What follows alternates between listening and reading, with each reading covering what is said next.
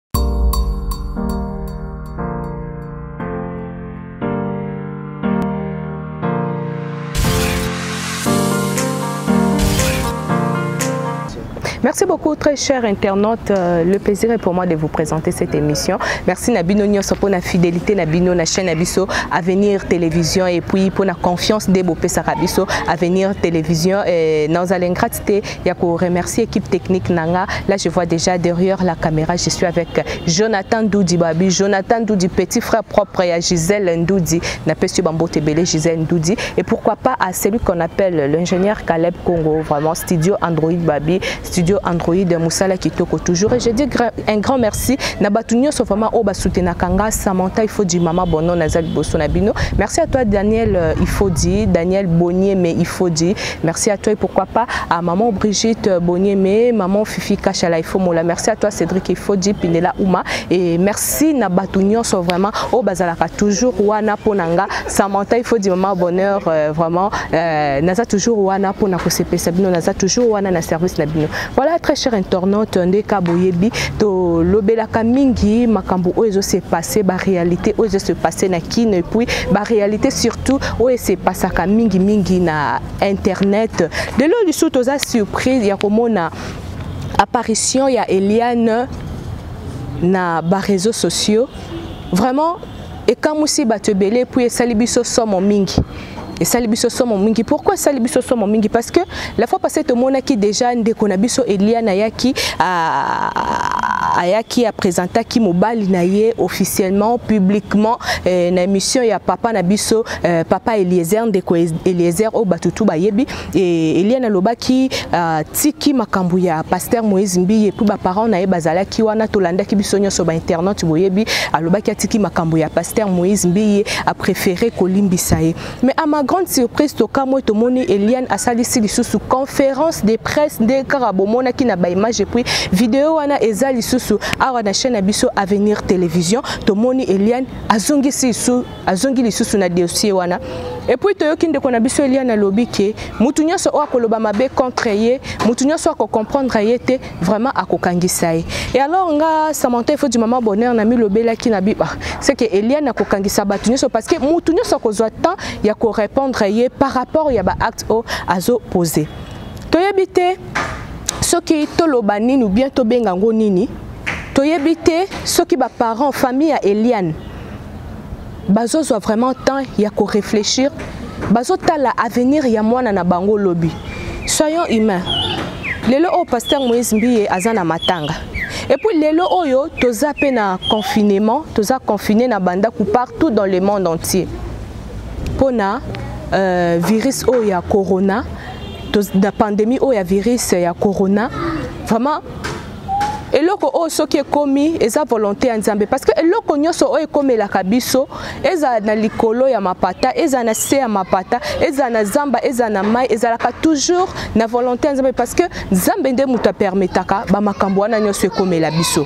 mais soki eliane azosala bamakambo ya boye soki eliane azozwa temps okeyi toyebi te ntango yo moko nanu deja ozoloba ke non nalimbisi seke ezalaki na accord moko boye oyo bosalaki sikoyo peut-être olingaki plus omoni ke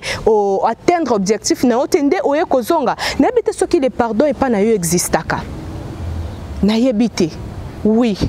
balongola oyo bazemi ebele ba biza na yo mais soyons humains ndeko mwasi biso bandeko basi parce que eza te ke non toza encourage mibali oyo basalaka basi mabe non toza contre yango le problème on est c'est quoi ntango obandaki kokutana na pasteur olekaki na télévision te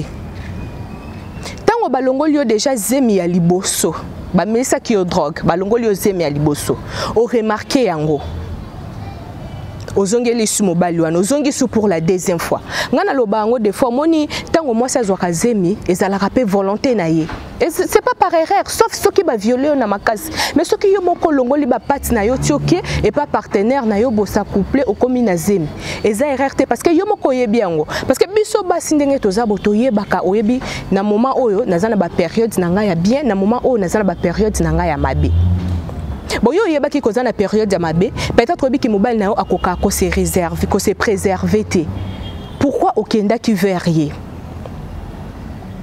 Et puis balongoli yo zemi ya liboso tango remarkaki boy. Balopolo ozoloba zemi te mais ozoloba ba avortement. Olongoli ba zemi ebele ya liboso, ya mibale, ya misato. Donc nyonso wana ezaki kaka na, na propre volonté na yo te. Tozala bato parce que oza pe na petit frère ya mobali. wana nyonso opermetaki yango e alors ere omoni ke makambo ezosimba lisusu te ere omoni ke makambo ya libala ekomi ebeti poto nde sikoyo oye kobima victime ozomona teke na ebandeli biso tu basi tozalaki na nsima na yo tosutenaki yo mais tant que yo moko oleki na tv ose olobi ke olimbisi olakisi mpe mobali na yo mais oyo ekomi bateatre bozosala mais nini esali soki ozonga soki mpo na sante na yo ozonga toyebi te ntango ozoloba na conférence de presse na yo ntango ozoloba ke non ozocreye base te ntango ozoloba ke non oza na besoin ya mbongo te mais baacte oyo ozosala eza, e, e, eza déjà ezolakisa déjà ke oza na besoin mbongo seke boyokanaki peut-être 100 000 10 000 nde bango babisa bino mpo tozoyoka que oza na besoin ya 200 000 dollars peut-être ntango omoni bandimaki 200 000 dollars osali video pour dépôt mpo na koloba ke non olimbisi ntango omoni esimbi te oye mbala moko lisusu kozonga mpo koloba ke non ozo réclame eh, badroit na yo légitime yebisa biso nani tokoloba nini oyo ekomi kosakana na bato franchement parce que na minute oyo mutu tu avandi na ndako ase confine na ndako tozosenga mawa nzambe tozosenga nzambe asala biso grâce to, to, to, nzambe ayokela biso mawa alongola pandémie oyo ya coronavirus oyo ekoti dans le monde entier oyo esimbi bato nyonso ntango bato bazobondela bazosenga mawa nzambe ale yo oyoki ata mawa te olie mpe oluka nzambe asala yo grâce ndenge olobi ke ozosenye 4 fois par mois eza déjà malade wi toboyi te mais ntango olimbisaki wana obanda kosenye 4 fois par mois te ou bien kosenye yango 4 fois par mois eyeka sikoyo olie toluka nzambe olie toluka solution ya makambo oyo etelemeli bato donc oye lisusu mpo na kozongisa dossier mama tala mpe mpo na lobi na yo totala ka mpo na lelo ta avenir na yo lobi lelo oyo à vrai dire mpo na komashe bamo te soki omilingi ya solo soki oza na souci ya sante na mpo na remarke na bavideo yango ozoyaka monene ozoyaka monene ozoyaka kitoko donc c'est comme si euh, okomosala sikoyo marketing ya santé na yo na ya beauté na yo bato bamonaka otema bato basala neti babosana eliane oyesu ozongi lisusu na makambo yango mpo bato bamona Elia ndenge akomi kitoko bamona Elia na sante na ye ndenge akomi eh, bato bazongisa yo lisu na monoko na bango kosala succès oui c'est bien kocreye base na internet oui c'est bien mais sikoyo na ndenge nini lelo oyo ya vrai dire na famille nini na congo mobali mo famille nini bakolinga mwana na bango ayela bango mwasi eh, eliane famille nini bakolinga famille moko te et puis même combo na yo bato bazo porter même non na yo bakomi bakomi ba victime ya ba acte oyo ozo poser lelo oyo bato bazo porter combo même non na yo Eliane bakomi ba victime ya makambo ebele mais pourquoi qu'on se rende compte na nyonso wana te pourquoi pas kota l'avenir na yo lobi pourquoi pas kosenga nzambe asala yo grâce oluka ba prière omoni ndeko na nga Eliane nayebi kokokangisa na yo bato ebele ndenge olobaki mais naoyebisa yo eloko moko dans la vie il faut oyebaka eloko moko justice ya nzambe eleki ya biso bato ya mokili justice ya nzambe eleki ya biso bato ya mokili epuis bandeko na biso mibali batombaka victime ya makambo ebele ntango bozalaki kosala bolingo na bino ntango bozalaki na makambo na bino kuna ntango badrogaki yo pour la première fois pour la deuxième fois pour la troisième fois toyebi te soki ekomaki eh, 10 fois bato bayebaki te pourquoi pas boko traite makambo mosusu eh, baproblème kutu eza na mokili oyo eleki meme problème na yo eliane ezali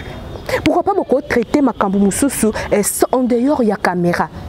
nde ka deja so olobaki ke olimbisi ezalaki so oblige te soki ozongeli su makambo yango ozongeli su procès ezalaki oblige te oleka na tele mpo oya kointimide bato ke moto akoloba likambo na okoporte ye plainte pour éviter que bato baloba makambo non ça serait mieux il a fallu que oleka osala makambo wana donc en coulisse kamera ezala te bato bayeba te eleka na internet te eleka na youtube te na moment oyo ya, ya, ya confinement na moment oyo bato mitema eza likolo na moment oyo bato na poto bamisusu basombaki babiye baoraisonne ndenge nini bakosala mpo baya komona bafamille na bango na moment oyo bato baza a na kina na, na, na, ya, ya pasi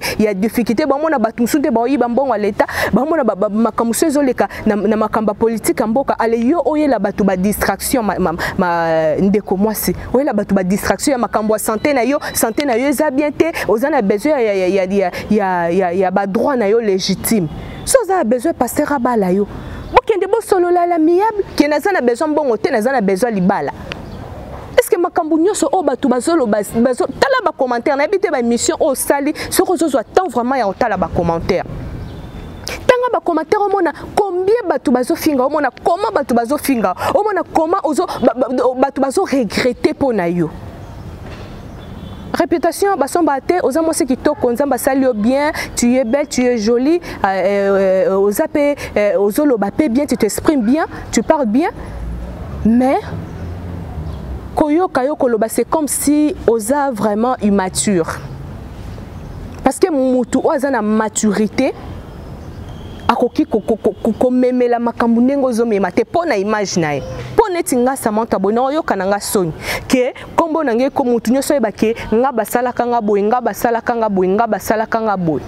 naoyoka soni deja na debut ya procès bato tu bazalaki pour yo lelo oyo ochange baavocat pour, pour, pour nous dire que ba, équipe ya bavoka ozali na bango liboso ozomona clair te mais siko ntango oyo oye na bavoka na mosu epuis ntango oyo olobi bokasi bango mpe na ngambo na bango bakovanda nie bako se taire te et alors bakoya na droit de réponse na bango mais tu vois comment tu, tu te fais salut tu vois comment ozo salir image na yo tu vois comment famille na yo bazokota na buzoba mais nazokamwa eh, baluba ba na bino so eza baluba ndenge nini nayebi te so boza baluba so boza ekolo nini parce que ezosala mpasi yo moko olimbisi yo moko ozongisi me raison nini sikoyo mpo olimbisaki deja ozwaki mobali na toloba ni mobali yango aboyo yango nde esali ke ozongisa procès parce que ntango deja osi olobi ke non namoni na ngai nalimbisa nalimbisi na ngai opresente biso mpe mobali na yo opresente mpe biso meme mama bokilo na yo non tokokoma bazoba na yo te quand même Et puis na ba journalistes au bozo à la présent, na ba journalistes au bozo à tant na bino vraiment au kendo yo ka ba aventure. Parce que wana est comme théâtre, comme ba aventure, ni ne si la kati. ntango ozoloba keno bato balobi ngai naza jalouse eza zuwa moto ezolobisa nga ozoboya yango mais effectivement c'est oui ezolakisa que tu es jalouse et puis tu es toujours amoureuse ya pasteur pasteur na miniti oyo aza na matanga à perdre cousin na ye te à perdre camarade na ye te à perdre soki mondimi na ye te mais à perdre son grand frère propre et puis na malade oyo ya corona mais toi tu te permets na moment oyo donc pourquoi kozala sans cœur boye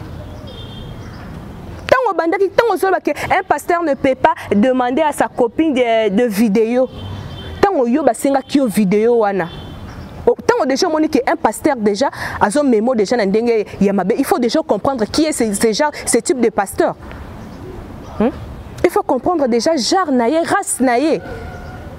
mais ntango yo otindaki ye video est ce que ye asimbaki telefone na yo azwi telefone na yo afilme yo epuis azwi atransfere yango epai na yo ezali basentiment bino mibale toza na besoin na yango te aza na video ya bafemme marie aza na video ya, ya baprotocole aza na bavideo toza na besoin nango te na minute oyo tozoluka nde mawa nzambe nzambe akitisa mawa na ye na monde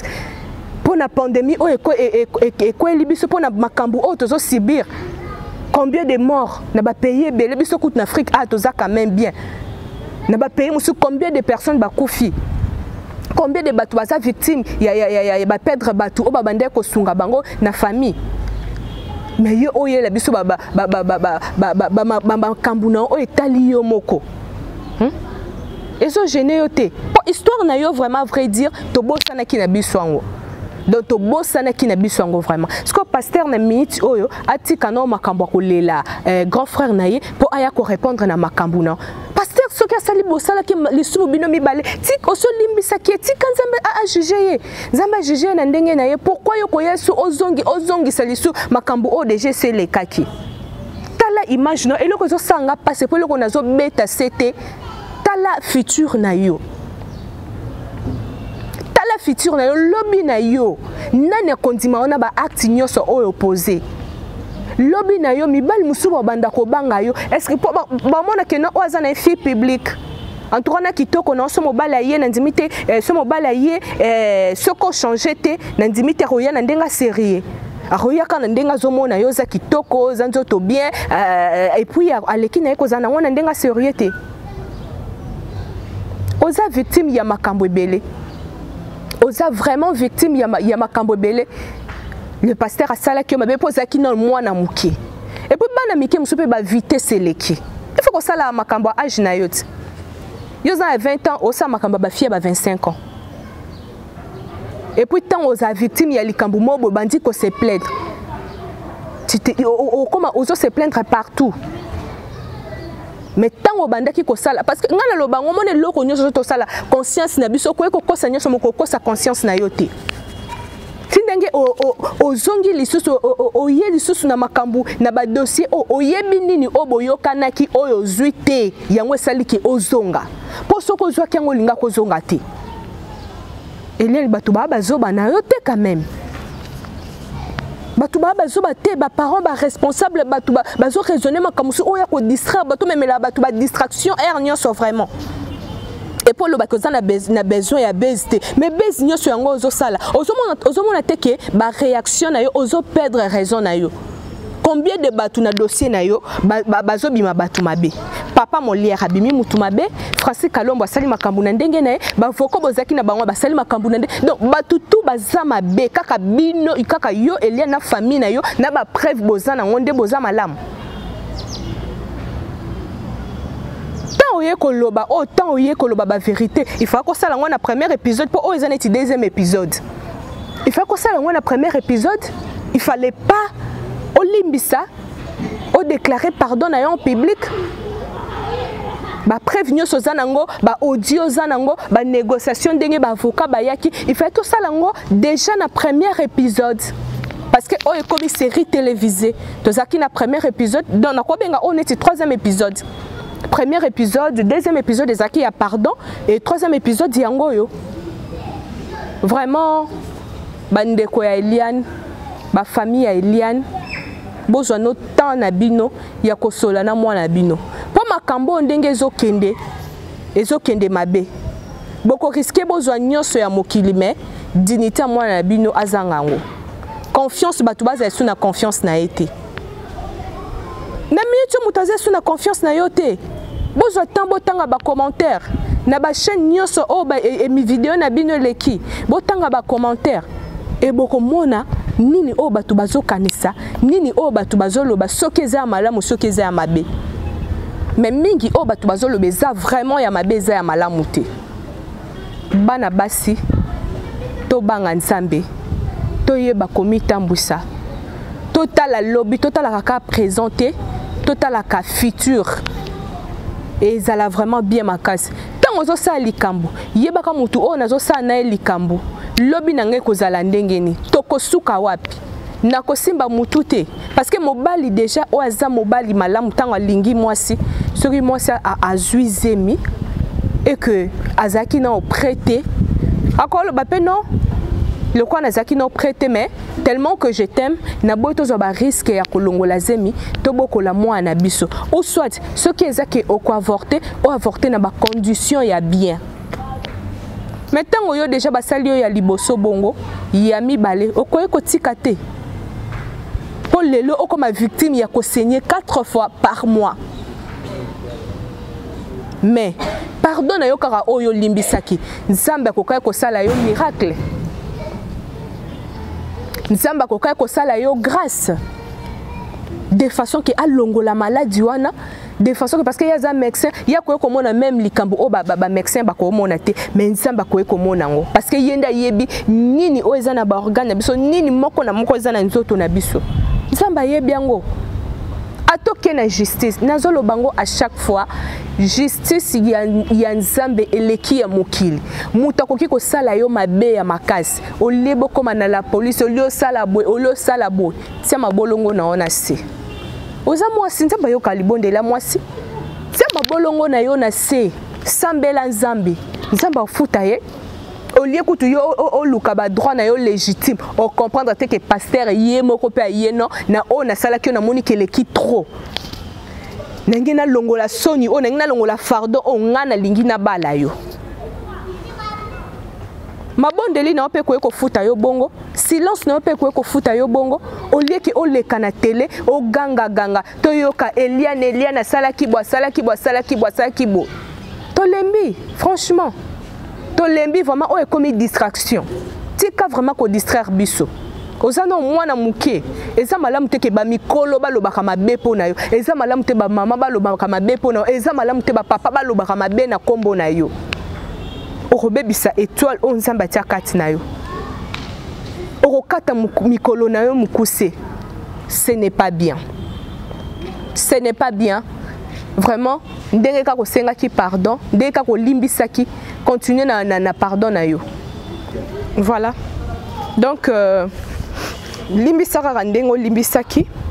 mitia na place ya pasteur aza na moment difficile aza na moment mpasi na miniti oyo vraiment olimbisa ye yo mpe nzambe alimbisa parce que bosalaki lisumu bino mibale bokometaki alditeur bino mibale vraiment olimbisa ye ekozala bien makasi na miniti oyo oh, monde entier mobimba tozotalela nzambe monde entier mobimba tozosenga mawa nzambe na miniti oyo confinement oyo moto nyonso aza na ndako na ye azotya mabolongo na ye na se mpo asenga nzambe ayoka mawa alongola maladi oyo mpo apart nzambe moto mosusu akolongola maladi oyo na mokili Azate. Vraiment ndeko Elien tika biso ba distraction. Vraiment euh, merci na ba internautes nyoso bozui temps ya kolanda nga ezaki ka moi na pesa moi idée na nga analyse na nga par rapport ya dossier oyo tomoni euh, ndeko Elien azongisi yango lisusu tandis que ye moko asi aloba alsi alimbisaki mais à ma grande surprise na moni ye kozonga lisusu pona ko